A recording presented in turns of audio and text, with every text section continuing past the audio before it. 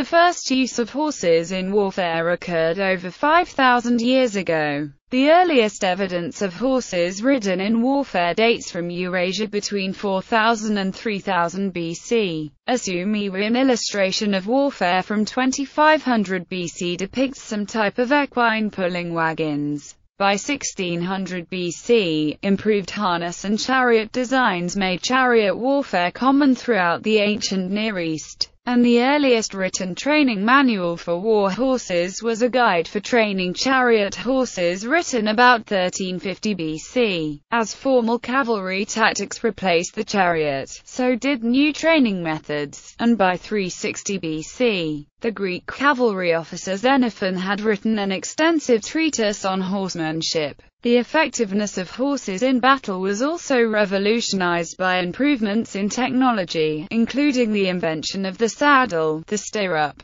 and later, the horse collar. Many different types and sizes of horse were used in war, depending on the form of warfare. The type used varied with whether the horse was being ridden or driven, and whether they were being used for reconnaissance, cavalry charges, raiding, communication, or supply. Throughout history, mules and donkeys as well as horses played a crucial role in providing support to armies in the field. Horses were well suited to the warfare tactics of the nomadic cultures from the steppes of Central Asia. Several East Asian cultures made extensive use of cavalry and chariots. Muslim warriors relied upon light cavalry in their campaigns throughout North Africa, Asia, and Europe beginning in the 7th and 8th centuries AD. Europeans used several types of war horses in the Middle Ages, and the best-known heavy cavalry warrior of the period was the armored knight. With the decline of the knight and rise of gunpowder in warfare, light cavalry again rose to prominence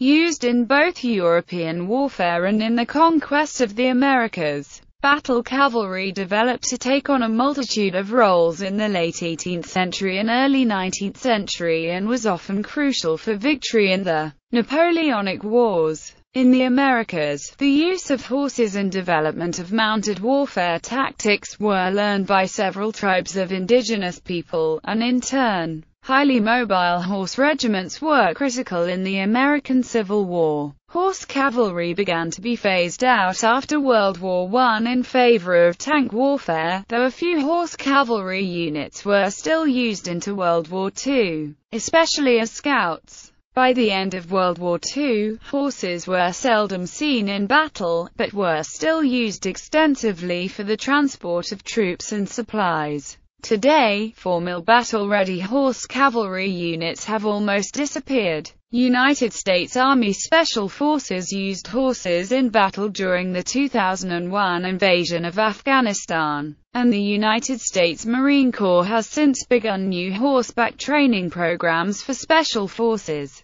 Horses are still seen in use by organized armed fighters in third world countries. Many nations still maintain small units of mounted riders for patrol and reconnaissance, and military horse units are also used for ceremonial and educational purposes. Horses are also used for historical reenactment of battles, law enforcement, and in equestrian competitions derived from the riding and training skills once used by the military. Types of horse used in warfare a fundamental principle of equine conformation is form to function. Therefore, the type of horse used for various forms of warfare depended on the work performed, the weight a horse needed to carry or pull, and distance traveled. Weight affects speed and endurance, creating a trade-off. Armor added protection, but added weight reduces maximum speed. Therefore, various cultures had different military needs. In some situations, one primary type of horse was favored over all others. In other places, multiple types were needed. Warriors would travel to battle riding a lighter horse of greater speed and endurance, and then switch to a heavier horse with greater weight carrying capacity, when wearing heavy armor in actual combat.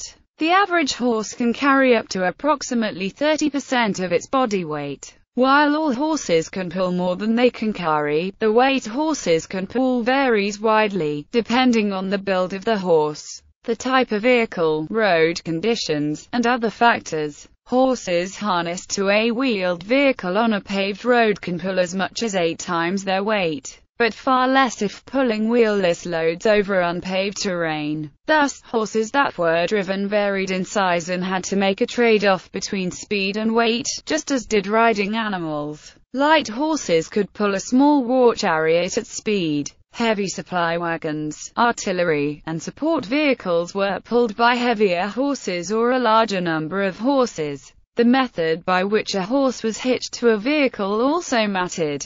Horses could pull greater weight with a horse collar than they could with a breast collar, and even less with an ox yoke. Lightweight light, oriental horses such as the ancestors of the modern Arabian, Barb, and Akhal were used for warfare that required speed, endurance and agility. Such horses ranged from about 12 hands to just under 15 hands, weighing approximately 800 to 1,000 pounds. To move quickly, riders had to use lightweight tack and carry relatively light weapons such as bows, light spears, javelins, or, later, rifles. This was the original horse used for early chariot warfare, raiding, and light cavalry. Relatively light horses were used by many cultures, including the ancient Egyptians, the Mongols, the Arabs, and the Native Americans. Throughout the ancient Near East, small, light animals were used to pull chariots designed to carry no more than two passengers, a driver and a warrior. In the European Middle Ages, a lightweight war horse became known as the Rouncey. Medium-weight Medium-weight horses developed as early as the Iron Age with the needs of various civilizations to pull heavier loads such as chariots capable of holding more than two people, and, as light cavalry evolved into heavy cavalry, to carry heavily armored riders. The Scythians were among the earliest cultures to produce taller, heavier horses. Larger horses were also needed to pull supply wagons and, later on, artillery pieces. In Europe, horses were also used to a limited extent to maneuver cannons on the battlefield as part of dedicated horse artillery units. Medium-weight horses had the greatest range in size, from about 14.2 hands but stocky, to as much as 16 hands, weighing approximately 1,000 to 1,200 pounds. They generally were quite agile in combat, though they did not have the raw speed or endurance of a lighter horse. By the Middle Ages, larger horses in this class were sometimes called destriers. They may have resembled modern Baroque or heavy warm-blood breeds. Later, horses similar to the modern warm blood often carried European cavalry. Heavyweight large, heavy horses, weighing from 1,500 to 2,000 pounds, the ancestors of today's draft horses, were used, particularly in Europe. From the Middle Ages onward, they pulled heavy loads, having the power to pull weapons or supply wagons and disposition to remain calm under fire.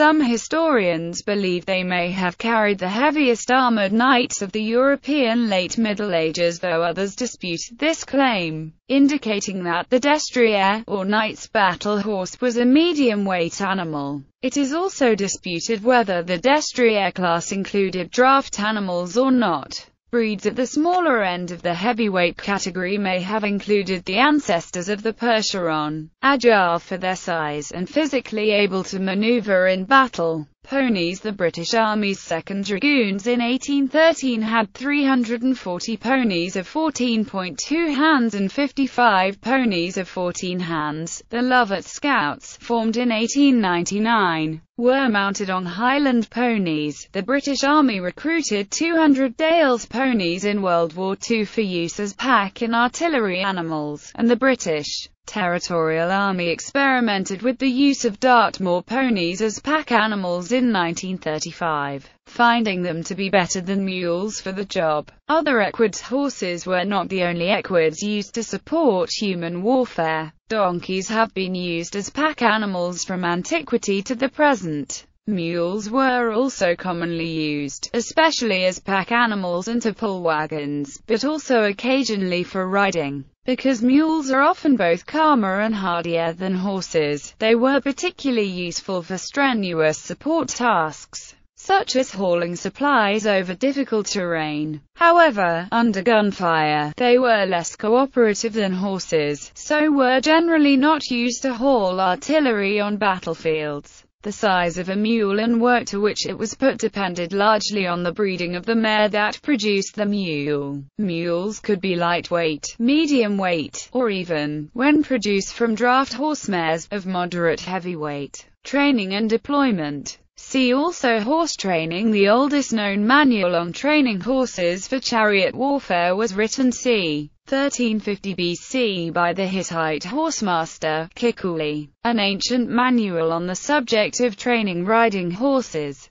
particularly for the ancient Greek cavalry is Hippike written about 360 BC by the Greek cavalry officer Xenophon. One of the earliest texts from Asia was that of Kautilya, written about 323 BC, where the horses were trained to pull chariots, to be ridden as light or heavy cavalry, or to carry the armored knight. Much training was required to overcome the horse's natural instinct to flee from noise, the smell of blood, and the confusion of combat.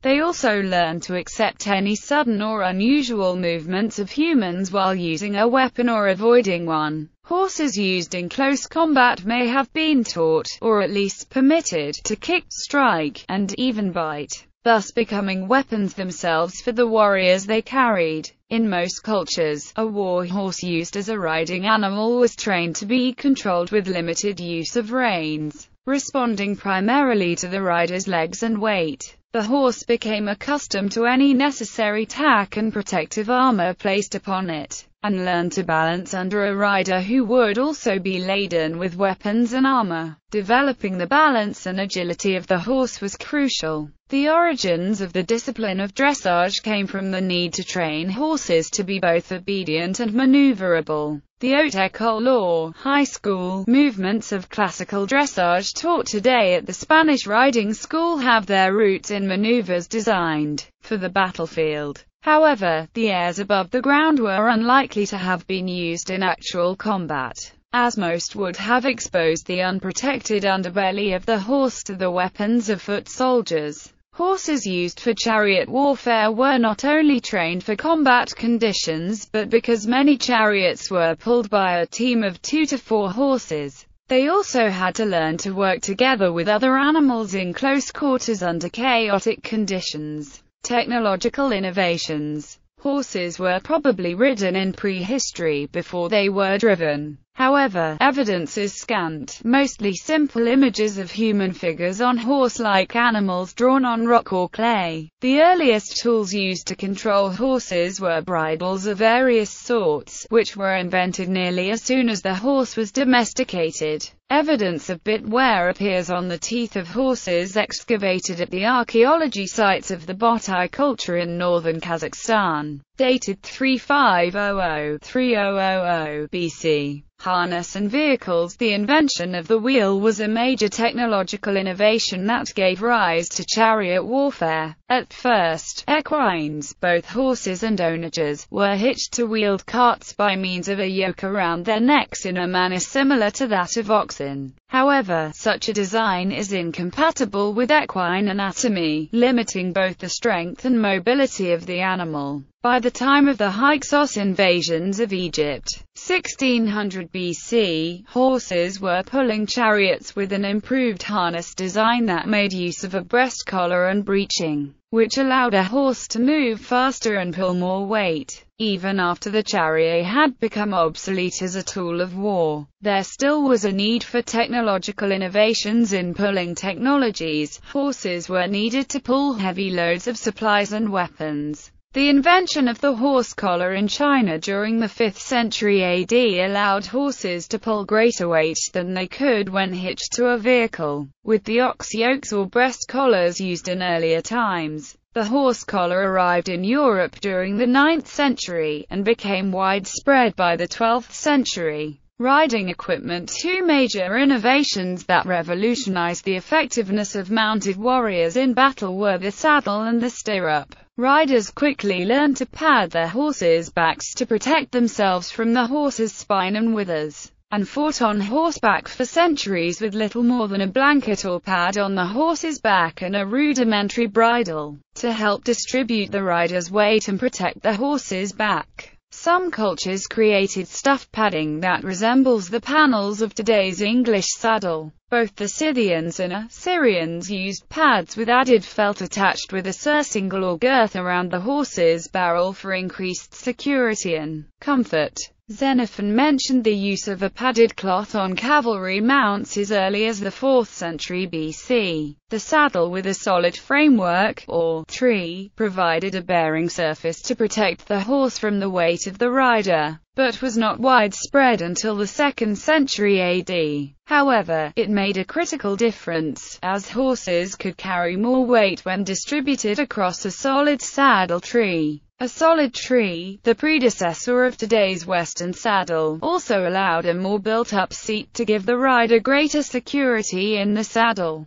The Romans are credited with the invention of the solid-treed saddle. An invention that made cavalry particularly effective was the stirrup. A toe loop that held the big toe was used in India possibly as early as 500 BC, and later a single stirrup was used as a mounting aid. The first set of paired stirrups appeared in China about 322 AD during the Jin dynasty, following the invention of paired stirrups, which allowed a rider greater leverage with weapons, as well as both increased stability and mobility while mounted. Nomadic groups such as the Mongols adopted this technology and developed a decisive military advantage. By the 7th century, due primarily to invaders from Central Asia, stirrup technology spread from Asia to Europe. The Avar invaders are viewed as primarily responsible for spreading the use of the stirrup into Central Europe. However, while stirrups were known in Europe in the 8th century, pictorial and literary references to their use date only from the 9th century. Widespread use in Northern Europe, including England, is credited to the Vikings, who spread the stirrup in the 9th and 10th centuries to those areas.